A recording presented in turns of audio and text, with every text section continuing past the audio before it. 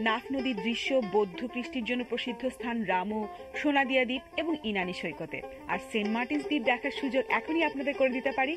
চলুন।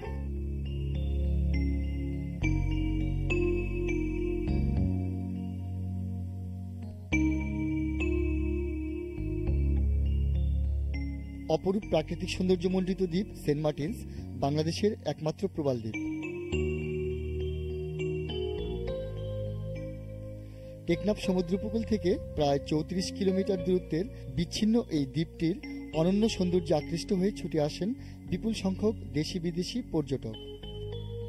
Saint Martin সম্পর্কে পত্রিকায় অনেক পড়েছি এবং খুব আকর্ষণীয় মনে হয়েছে। তো পত্রিকারা এইভাবে আকর্ষণীয় করে কেন লেখে এটা সত্যতা প্রমাণ করার জন্যই আমরা এখানে এসেছি। পাথরগুলো দেখতেছি নদীতে গোসল করলাম খুব ভালো লাগছে। মনে হচ্ছে নিজের কাছে আমি যে কারণে আসছি সে আমি সেটা প্লিজড হয়েছি। ব্যস্ততম এই পর্যটন কেন্দ্রটিতে পর্যটকদের সুযোগ সুবিধার তেমন কোনো ব্যবস্থাই রাখা হয়নি। জেলা পরিষদের একটি ডাকবাংলো ছাড়া বাংলাদেশ পর্যটন কর্পোরেশন বা সরকারি কোনো সংস্থার কোনো রকম কার্যক্রমও নেই এখানে। বেসরকারিভাবে গড়ে ওঠা ছোট ছোট কয়েকটি হোটেল মোটেল পর্যটকদের আবাসন সমস্যা মেটালেও চাহিদা অনুযায়ী সেবা প্রদানে ব্যর্থ হচ্ছে। অবকাশ পর্যটন লিমিটেড নামের একটি বেসরকারি প্রতিষ্ঠানের মোটেল নিঝুম এই অভাব পূরণে ভূমিকা রাখলেও চাহিদার তুলনায় তা অপ্রতুল। এখানে এখনও ওই ব্যাপারটা এত জনপ্রিয় হয়নি থাকার খাওয়ার ব্যাপারটা। এই দ্বীপের কথা আমি গাইডবুক থেকে জেনেছি। ওখানে উল্লেখ ছিল এখানে মাত্র একটি হোটেল আছে যা ঠিক নয়। আরও উল্লেখ ছিল প্রতিদিন একটি মাত্র যাত্রীবাহী নৌযান এখানে চলাচল করে যেটি না থাকায় সমস্যা হয়। এছাড়া এখানে খাওয়ার জন্য কোনো রেস্টুরেন্টের কথা উল্লেখ ছিল না। কিন্তু কয়েকটা রেস্টুরেন্ট এখানে আছে।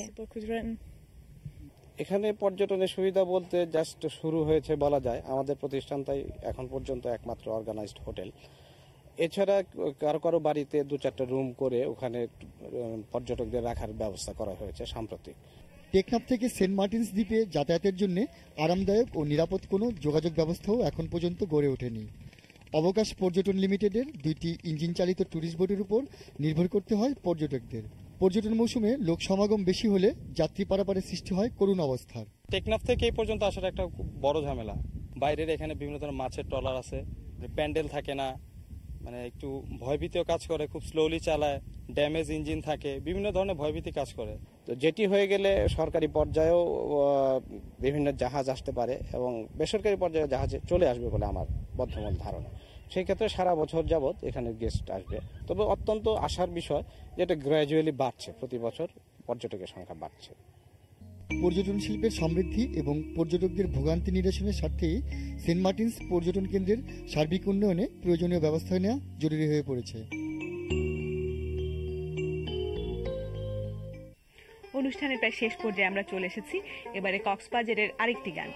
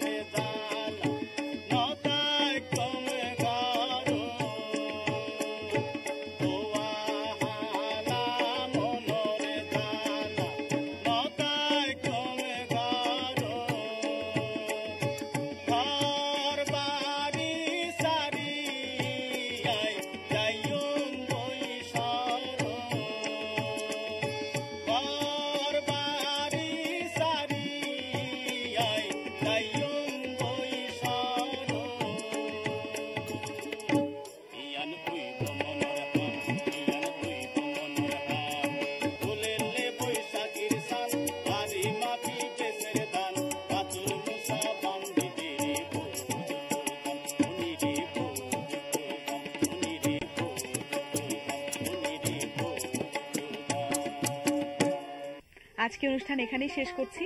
আগামী অনুষ্ঠান দেখার আমন্ত্রণ রইল সে পর্যন্ত সবাইকে অনেক অনেক শুভেচ্ছা।